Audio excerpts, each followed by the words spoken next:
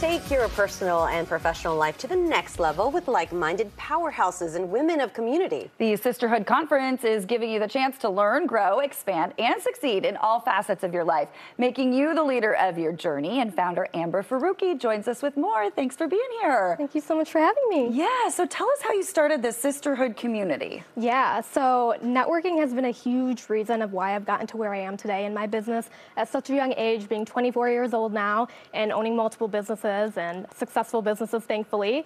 Networking has been a big reason. So I used to go to a lot of networking events and I realized they were very male dominant. It was mm-hmm. hard for me to find that woman connection that I was craving for so long. So I basically ended up starting the conferences because of that. And it began with a small little gathering. I just wanted a little bit of woman connection, around 15 people the first year. And then from there, it just grew and doubled in size every single year. So the first year we had our actual conference in 2020 two. Okay. And we had around 50 people. Then last year was 2023, our second annual conference, doubled. We had um, 2023, we had around 100. We actually oversold out. And then now it's our third year doing this conference. Okay, this is incredible. I know you just kind of gave us a synopsis of how this all started, but let's go back here. I mean, you were in school. How old were you when you decided, okay, I'm going to start this? I actually began in like fitness coaching, so I started that around like 18, 19 years okay. old, super young. And then around 2020, when I turned 20, I transitioned into business coaching and the conferences. I mean, this is when most people are just learning the skills of being able to network and introduce themselves. I was just themselves. trying to get to class on time. Right, exactly. I mean, was this something that you you were never shy? You you found it was very easy to connect with people, and did you notice that you had a skill that other people maybe could use help? In? Yeah, definitely. I always grew up a pretty confident girl, and I feel like just connecting with people was something that I really enjoyed doing. And I had a really good network of people, and I wanted to leverage that and be that super connector for other people mm. because it helped me so much in my career, and I wanted to give back to other women out there as well. So, yeah. Yeah, and I know in your conference and elsewhere, yeah. you talk about how to connect, how to network, how to do that. And maybe if you aren't feeling so confident, what would you say are some of the biggest tips that you can give people?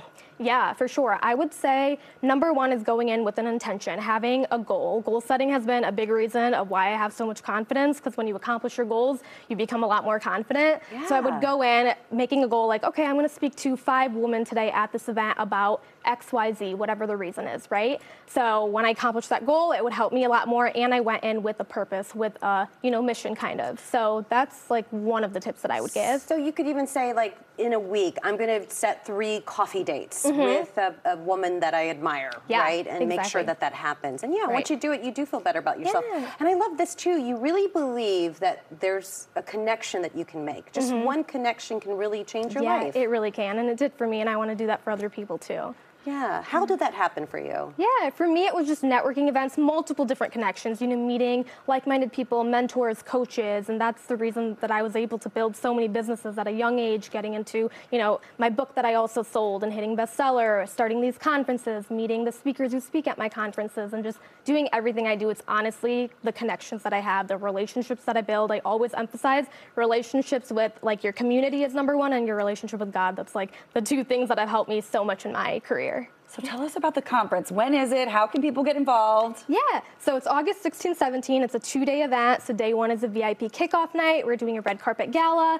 Super excited for that. And then August 17th on Saturday is the main day where we're going to have different speakers, panelists, workshops. It's just a full experience. I don't like to call it an event. I like to call it an experience for everyone attending. So yeah, that's and kind of that. You say that once you are at this conference, um, there's easy little icebreakers you can do, right? Mm-hmm. What are some of those? Yeah, I would say definitely a good way to like just icebreak and network with people is like when I go to networking events and I feel uncomfortable, sometimes I'll just go up to someone if I like their shoes and compliment them and be like, okay, that's super cute. Where'd you get that from? It just kind of breaks up the ice and you start conversation very like genuinely and casually. So that's kind of that. But at the conference, I have specific ways for people to start, you know, breaking the ice. So I'll definitely have that there. Exercises. Yes. Everybody loves a compliment. Yes. Yes. yes. That's perfect. Oh my mm-hmm. goodness. Yeah, love that.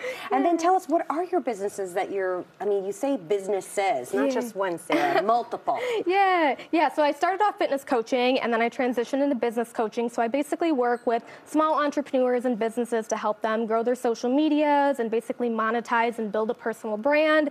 And um, then I have the sisterhood community as well. So these events that I do, mastermind programs, I have a lot of digital products that I sell as well, um, things like Okay, that. So you've accomplished so much. What do you? Where do you see yourself in five, ten years? I see myself hopefully having the largest like women's conference in the U.S. and just growing and empowering and changing women's lives all over the world. You're our Chicago area girl. Yes, from Barrington, we love Illinois. that. I love it. Congratulations. Thank you. Thank, Thank you you so so much, much. Amber. The Sisterhood Conference is August 17th. For tickets and more information, just head to 2024sisterhoodconference.org or find them on Instagram.